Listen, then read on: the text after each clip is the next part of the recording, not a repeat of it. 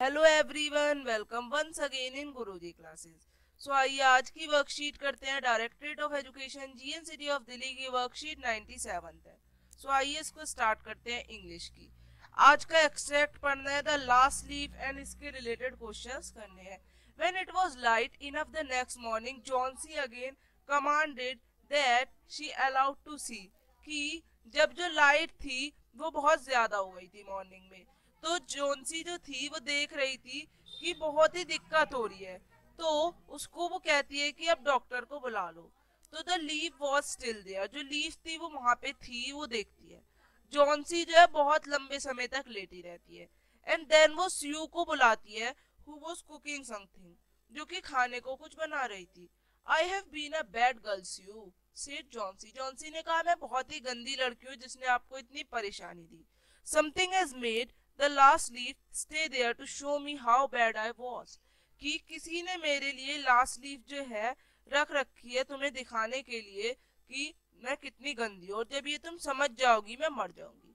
I try to eat now मैं अब खाने की कोशिश करती हूँ। But first bring me a looking glass पर तुम मेरे लिए एक गिलास लाओ जिससे मैं अपने अंदर देखूँ।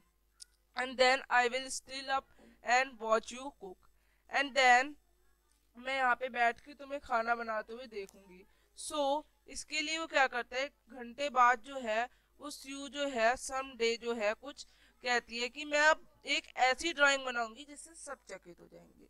अब जो डॉक्टर है वो आ जाते हैं। वो कहते हैं सीयू के कमरे में आके कि जॉन्सी को कहो कि अगर वो हिम्मत दिखाएगी जीने की तो वो जीगी अब वो कहता है now I must have to go अब मुझे जाना है क्योंकि एक और बंदा है जिसको मेरे को चेक करना है इस घर में एंड उसका नाम है बैरमन।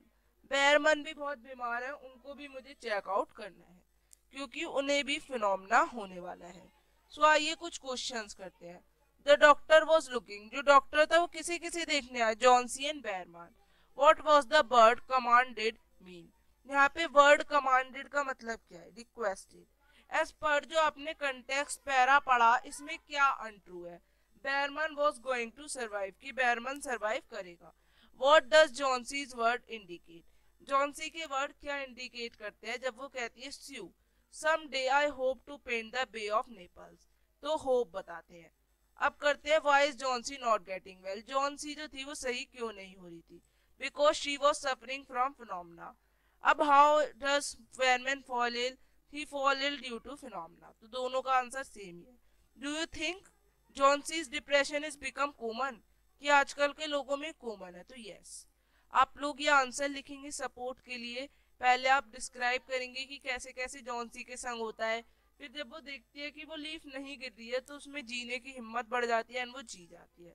पर इसी तरह का डिप्रेशन आजकल के टीनेजर्स में है, जिसकी वजह से वो अपनी लाइफ में कुछ नहीं कर पाते। उनकी जो सोच है, वो नेगेटिव हो जाती है इसकी वजह से उनकी लाइफ जो है, वो खराब हो जाती है। तो आप लोग इस तरह से पूरा आंसर इंग्लिश में लिख लेंगे। अपन मिलेंगे आगे की वर्कशीट्स के संग। तब तक के लिए बाय एवरीवन चैनल को लाइक करना सब्सक्राइब करना एंड शेयर करना।